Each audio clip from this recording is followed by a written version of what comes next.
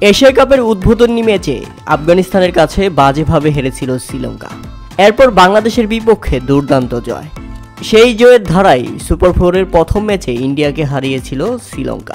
আর এরপরেই তাদের আত্মবিশ্বাস এতটাই বেড়ে যায় যে শেষ পর্যন্ত চ্যাম্পিয়ন। শুধু চ্যাম্পিয়ন নয়, রীতিমতো বিশ্ব রেকর্ড করল শ্রীলঙ্কা।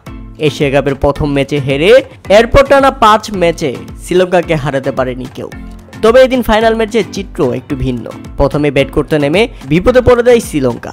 ওপেনারদের ব্যর্থতা, তবে শেষ দিকে দলকে একাই টেনে নিয়ে যান রাজা পাকসে এবং তার সাথে হাল ধরেছিলেন ওয়ানিন্দু হাসারাঙ্গা, যেখানে পঁয়তাল্লিশ বলে একাত্তর রানের দুর্দান্ত ইনিংস খেলেছেন রাজা পাকসে যার সুবাদেই নির্ধারিত বিশ ওভারে একশো সত্তর রানের লক্ষ্য দাঁড় করায় শ্রীলঙ্কা।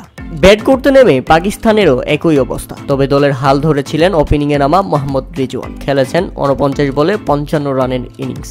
তবে রেজওয়ান আউট হতেই যেন ম্যাচ থেকে ছিটকে পড়ে গেল পাকিস্তান।